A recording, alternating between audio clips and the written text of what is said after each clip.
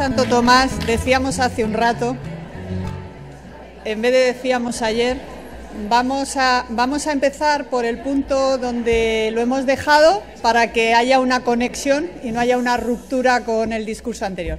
Bien, estábamos cerrando en que este material o esta aplicación que es gratuita, que podéis utilizar eh, cualquiera de vosotros, basta con hacerse una cuenta y podéis, eh, es una aplicación que está en varios idiomas, en inglés, en español, en portugués, y tiene una zona que se llama, esta zona de aquí abajo, se llama libros de la biblioteca pública, es una biblioteca pública de libros digitales que diseñan cualquier persona y los deja allí para que se, pueda, se puedan utilizar.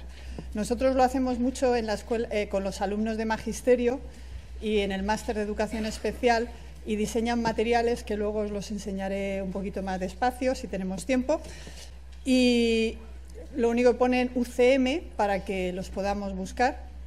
Pero también hay muchos libros en inglés y en portugués y especialmente los de inglés pueden ser muy útiles cuando veáis esta aplicación, os la explique ahora más despacio, porque puede ser muy útil para los niños que están aprendiendo idiomas o aprendiendo a leer. Bueno, pues como os decía, permite, es una herramienta que tiene una plantilla y tú le vas poniendo los contenidos y los elementos. Eh, este, por ejemplo, ¿veis? Está hecho con dibujos de los niños. Entonces es, una, es un mix. Eh, lo que hacen es que los niños escriben el cuento, le ponen sus dibujos y luego hay una serie de personajes que permiten interactuar con, el, usuario. Entonces aquí les ponemos preguntas o les, hacemos llamada a conocimientos previos o les, situamos en el aprendizaje. Tú conocías. Luego tiene una herramienta que ahora vamos a explicar que permite leer el texto eh, palabra a palabra o todo el texto y tiene un glosario que permite la definición usando vídeos, definiciones en texto, eh, pictogramas y luego además le permite poner la grabación del texto.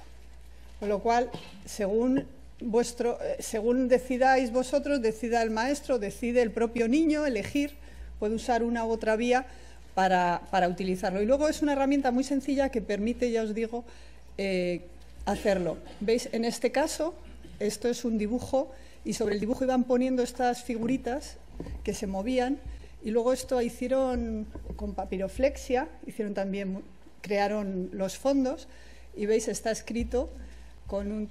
Y estos son palabras que cuando aparecen así son palabras que están en el glosario.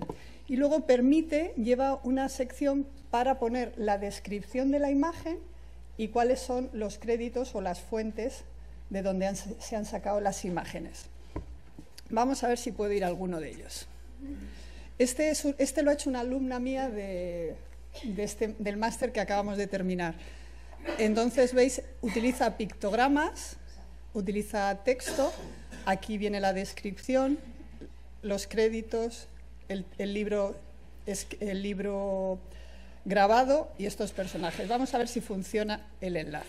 Se llama Aprende a ordenar, aprende a ordenar y así, esta es la imagen que tendría el libro. ¿eh? Esto es tal cual, esto es real. Entonces, ¿veis? Eh, Me llamo Juan y tengo seis años.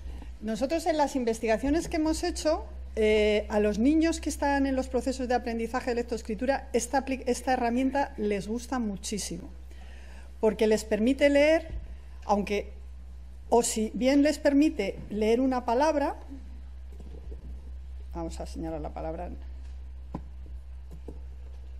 o les permite leer todo el texto. Permite crear tú la imagen que quieras poner y luego permite tener estos personajes que lo mismo que no me deja, no ha cargado bien el sonido aquí, estos personajes los les pones mensajes para que interactúen con el niño. Entonces, si estás trabajando eh, un contenido concreto, pues eh, hemos ido al zoo o, eres ordenado. Aquí dice, ¿tú cuántos años tienes? O tú sabes ordenar o cómo ordenas tú la, habitación. Puedes poner elementos que activen los procesos que sabemos que son de lectura comprensiva. Y, eso significa situarles en el tema que van a, tratar, eh, significa ver si tienen conocimientos previos, pero que, la lectura no sea solamente la decodificación de las palabras, sino que cuando uno lee hay unos contenidos y, hay que tratar de conectarlo con estructuras y conocimientos previos y además de motivarles. En el glosario, como os decía, vamos a ver si hay alguna. Vamos a ir al glosario.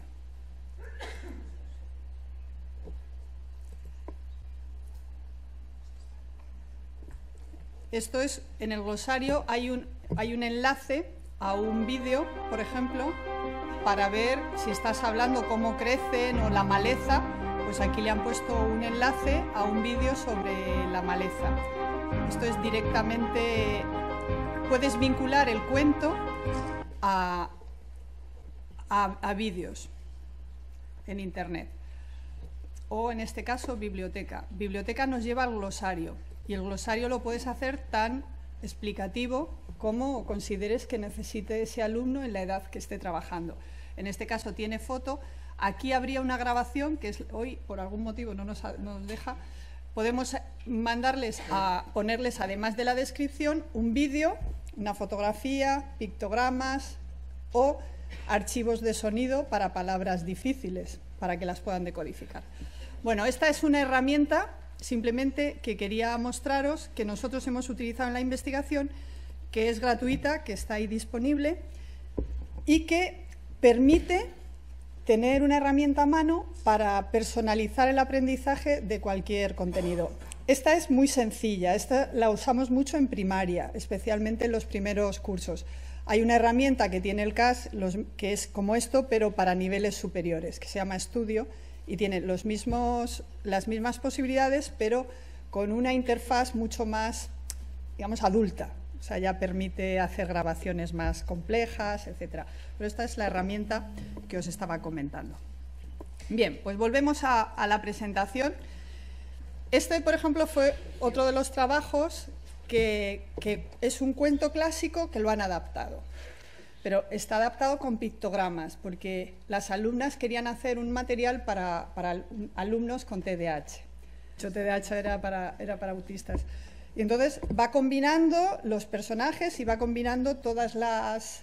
va han creado una imagen combinando los pictogramas de Arasak con el texto y abajo lleva el texto escrito y además lleva el texto grabado, con lo cual es el propio alumno el que decide cómo lo quiere usar o el propio maestro docente el que decide cuál es la mejor interacción. Pero a los niños les gusta mucho porque les da mucha autonomía y ellos por fin pueden leer cuentos y enterarse de los cuentos sin, sin tener problemas. Bien, entonces seguimos. Este que me decís, ¿veis cómo lo han hecho? Esto es un trabajo artístico de los alumnos. Han hecho, han hecho escrito el cuento y han hecho fotografías a los personajes en distintas situaciones. lo podéis ver, no, no, me detengo en él. A mí me encanta este porque si lo veis es muy gracioso porque los ositos se escapan y se meten en una bolsa de deportes y cruzan la calle y van al polideportivo y animan a su equipo. Y todo eso lo han hecho haciendo fotos, han hecho un fotomontaje y le han puesto luego el texto. Entonces son, lo puedes usar para que los alumnos lean cuentos o textos que preparan los, los docentes, pero también es una herramienta al servicio de la producción de materiales y por parte de los alumnos. Ya veréis luego cómo se, a qué nos referimos.